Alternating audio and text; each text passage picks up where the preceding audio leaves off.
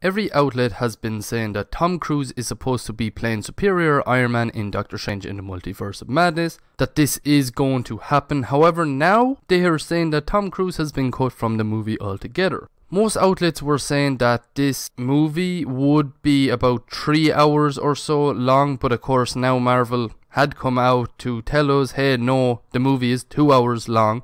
And some of these outlets are just throwing stuff at the wall and seeing if it sticks really and truly. But if Tom Cruise does play Superior Iron Man in this movie, that's going to be a big bag for Tom Cruise. And with Tom Cruise's elite status of actors, and he's an incredible actor, but for Marvel then to turn around and cut Tom Cruise out of the movie makes no sense. If you're bringing in someone with his status, he has to be in the movie. Like, you're not going to spend just say for instance 3 or 4 million to bring Tom Cruise in for whatever cameo it is if it is a cameo just say he comes in why would you pay him that much money and then cut him out of the film? It makes zero sense. Now I'm not saying Tom Cruise is in this movie 100% because they paid the bag to him and everything like that. No I genuinely do not know if he is in it. What I'm saying is if they cut Tom Cruise out of this movie. If he is in it, they are basically losing money.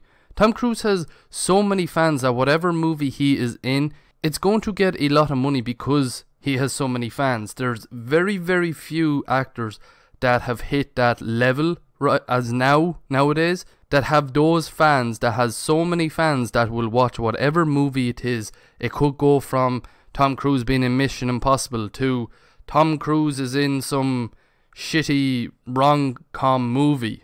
And it would still make a ton of money because fans love Tom Cruise.